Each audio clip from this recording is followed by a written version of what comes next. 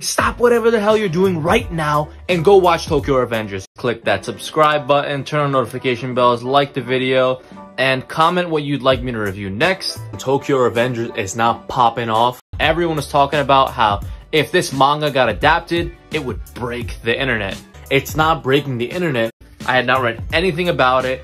I did not know what to expect at all. I had no context about Tokyo Revengers but I heard that this shit was hot. This ish is fire, bro. It doesn't have the most fire. It's definitely making a lot of noise right now. Sadly, we are still a point in anime that I don't think enough of big content creators are talking about Tokyo Revengers right now and hyping it up. This anime is so captivating. It's not a banger like Jujutsu Kaisen. It has to be catchy and iconic. It leaves me in dire need for more. These cliffhangers got me so captivated and invested into this series. The plot is actually very convoluted. It hasn't been done in anime before. This anime is also about time travel, Erased, Steins Gate, or Rascal Dreams of Dreaming Now when anime fights are straight hands, those are some of the best underrated anime fights ever. I love straight mittens. It goes hard as fuck. Your main character needs to have superpowers for it to break the internet. But give it some time, and I think by the end of the season, it definitely might. If you enjoyed the video, please subscribe, like, share. Please let me know what you'd like me to review next.